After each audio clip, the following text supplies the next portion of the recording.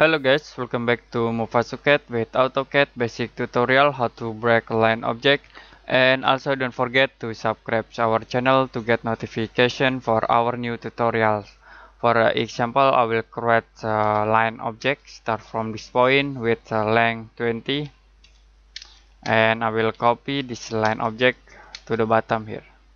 Okay, for first example, I will break uh, this uh, line object. You can tap uh, break uh, command enter and I will break at this point. You can click in here and type a zero point enter. We already break uh, this line into two line object okay?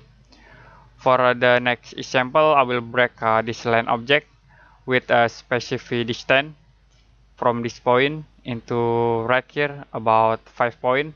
You can tap uh, break uh, command enter select object type uh, F enter. I will select at this point and move into right here until you see tracking snap and tap uh, 5 enter okay. And then type uh, 0 to break uh, this line object okay. I will use uh, dimlin to give a dimension from here to this point. And we'll already break uh, this object with uh, distance 5 uh, point from this point to this point. Okay?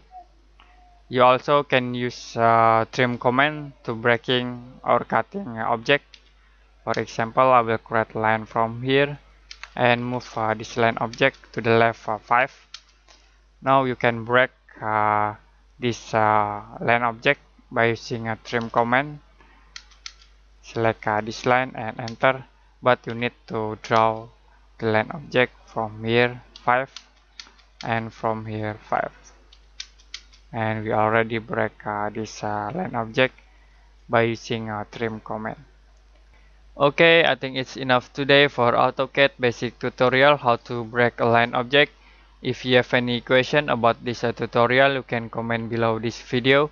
And see you next time in another AutoCAD basic tutorial